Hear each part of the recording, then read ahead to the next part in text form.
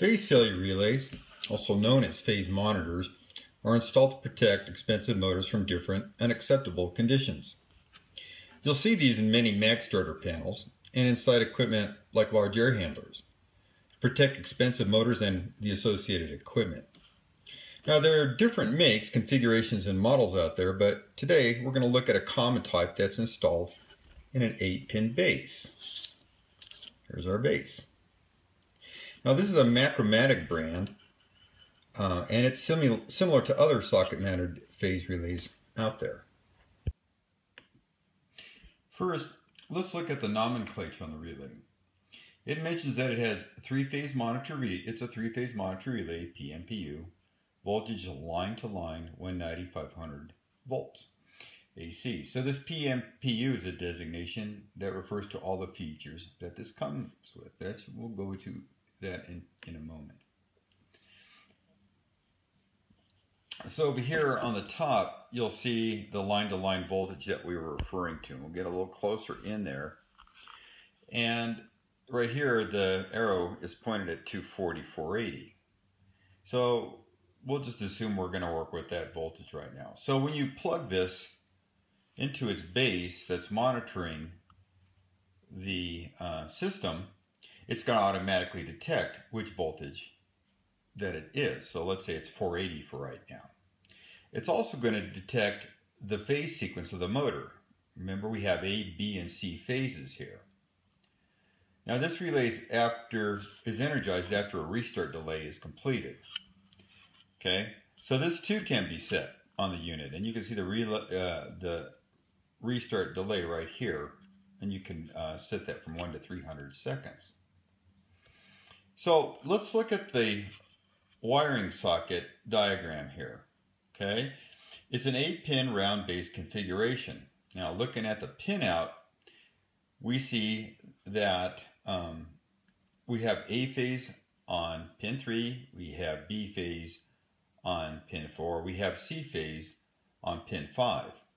6 and 7 are set aside for a manual reset, reset if you wanted to have an external momentary switch. But right now, we're going to assume that we don't need this. Um, this thing will automatically reset if you don't use a manual reset upon uh, fixing a fault condition. But here's where some more of the magic takes place on pins 1, 8, and 2. Okay, so I'm going to show you this on more of a, a, a ladder diagram or a wiring diagram that um, actually comes with this unit. And uh, this is um, pretty handy in seeing what's going on with this. Okay, so let's look at let's look at uh, how this wiring diagram here. So this is a this is uh, L1, L2, L3. This would be on the line side of your starter. Okay, and you can see how that's going to, you know, L1, which is A phase, goes to pin 3, this is the uh, the um, eight pin base that that relay sits on. Okay, L2, which is B phase, goes over here to pin four, and L3, which is C phase, goes over here to pin five. Now, what they've also shown here, um, right here are some inline fuses. That's up to you if you want to put in there. And what that those fuses would be for is to protect the um, the device, the phase monitor relay itself, not the not the motor. Okay. Now let's look what else is going on here. Do you see where it says M right here? So these are the normally open contacts. These are the contacts that happen on your mag starter. So when your mag starter engages, those contacts close, and then that passes through the voltage through each phase to a, the three through the overloads, then to the three-phase motor that we're trying to run. Okay, so far so good. Now let's look at what else is going on here. And uh, uh, then below this, we start getting into a wiring or a ladder diagram. So from a wiring diagram to the ladder diagram, the ladder diagram is going to show you um, how this this is talking about the pins 1, 2, and 8. Once again, pins 1, 2, and 8 shown here on the relay itself. So pin 1 you know, if you remember, over here, pin 1 is a common. Okay, so that common, let's trace that back here. That common is going to go to neutral. Okay, this is my control circuit. So when I say neutral, I'm talking about the control circuit. And we'll get into those things a little bit more, but for right now, just see that that one is common to neutral. Okay, because you have on your control circuit L for hot. Okay, so then, okay, so one's to neutral, so what's two? Two goes to this alarm light over here. Okay, on the other side of the alarm light, you see L. Well, that alarm light could be illuminated. Well, let's see the conditions that'll cause it. Now, the last thing, this is our motor starter right here. Okay, a stop-start station. So we have line voltage, we have stop, we have start, we have our holding contact, and M. So what, and, and overloads goes back here. So let's back up a little bit. What is this circle M here? Well, that M is the motor um, is your relay coil. The relay coil, when it closes, will close these M relays, which will allow those phases to go through here to um, run that motor. Okay. This other M is associated with this, and that's your holding contact. So after you hit the stop but start button, it's going to energize that circuit and keep it going. Okay. And again, we're going to get more into that as time goes by with ladder uh, diagrams. This is a basic start-stop station, which you're going to see many times in the coming weeks. So following that through here, where does it go? It goes to pin 8 on our phase monitor relay. Well, how's that working? So let's go down here, and we can see that from pin 1 is connected to pin 2 right now. It's not connected, it's not touching pin 8 right here. So now you have to um, reflect back on this. So remember when you're looking at any kind of a circuit, when you're looking at a drawing of a circuit, you'll always see it in its de-energized state. That means nothing's gone on. This is off the shelf. This is before any power has been applied to this. So how this is working is, okay, if I have this, if I have my A, B, C phases and everything is hooked up and I've got my line voltage, it's all doing well. That's going to energize this relay. So this these three phases being on will energize that relay. So what does that mean? Well, that means that the energized, that energized relay changes these contact states.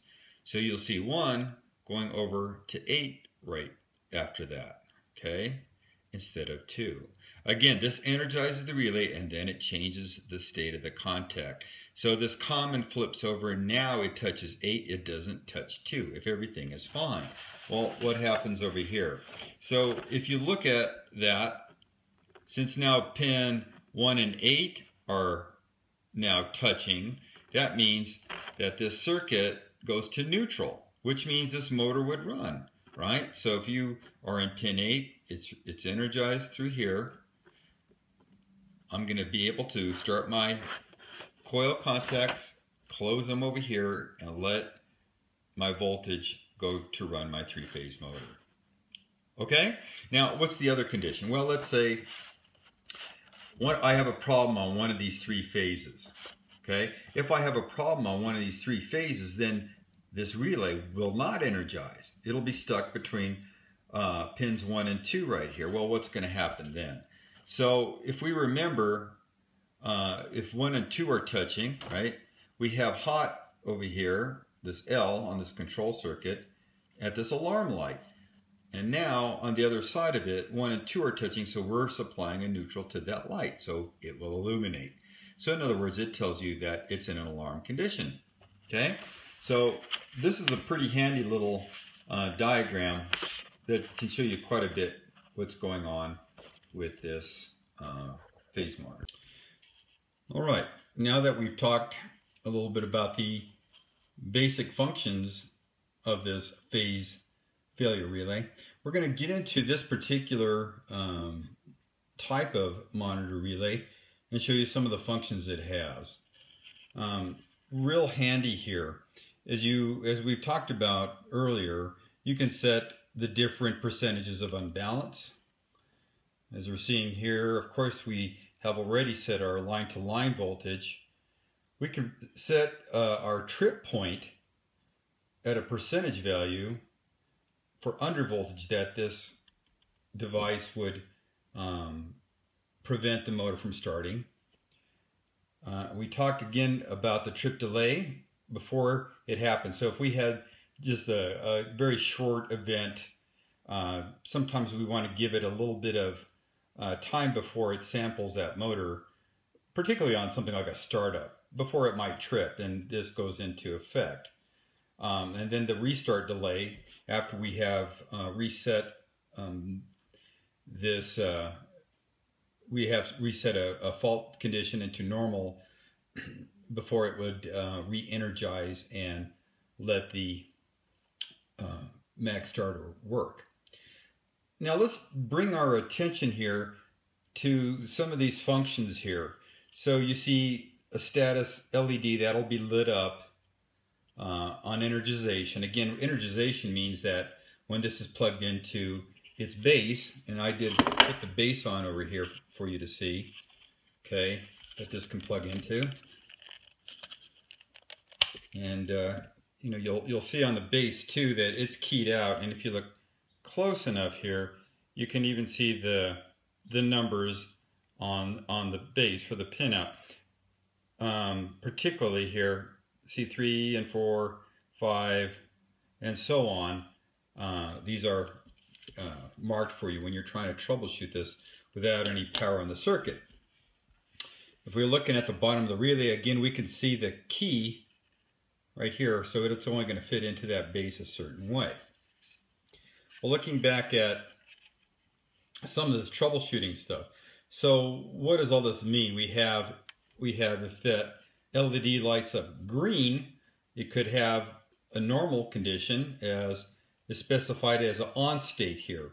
If you would think of this as a digital um, readout from the bottom of that mesa, let's call it, uh, would be a zero or off, and the top of it would be an on. This would be a normal condition. If we see restart, then we have these little up and down, kind of a sawtooth looking thing. Um, if it was in red, we have uh, a reversal for that. Um, mesa, call it, let's call it a mesa condition. For the loss, uh, for unbalance, you can see you have a peak here every so often. For a low volt, you have two peaks with a positive again. And if you have a high voltage, you have three peaks. So that's really handy. You know, you come across, let's say, a motor, uh, and, and, you're looking inside the mag starter um, case for this thing, and you might see the these different uh, flashes on the status bar. That really helps you uh, narrow down to what the problem might be, so you can remedy the situation and get it, get the motor going. So once again, we're looking at our our, our cut sheet for this. Um, very handy to have. So as you can see here, we're going into either more, uh, this troubleshooting guide here helps you uh, narrow down things pretty quickly. Um, for instance, motor's not starting, uh, maybe it's waiting for a reset if we have a manual reset. Um, over here in the green here, it says the relays in the run mode and working properly. Either another control device is preventing the motor from starting or all wiring should be checked, so on and so forth. So these cut sheets are extremely handy to have um, around your motor. And one thing I always uh, like to see and one thing I recommend if you ever install a, let's say a mag starter with something like this, like a phase monitor relay in it, uh, I always uh, am very um, adamant about making sure that the supportive literature is going to be there for the guy who has to work on it. Um, you know, I, I do service work uh, solely now, and uh, you know, I'm on that uh, on that end of it where I work on so many different types of motors, that type of thing. And if I come across this thing, I see different types of other ones. I'm going to want to have this cut sheet handy somewhere so I can go ahead and try to troubleshoot this and figure out what the problem is that's holding that motor from starting. So once again, if you're on the installation end of this, please make sure that you include you know, all literature that has to do with this inside of that motor starter. You can simply fold it up and put it on the side. Anyway, that pretty much wraps up uh, this basic tutorial on a phase failure relay. Hope this helps.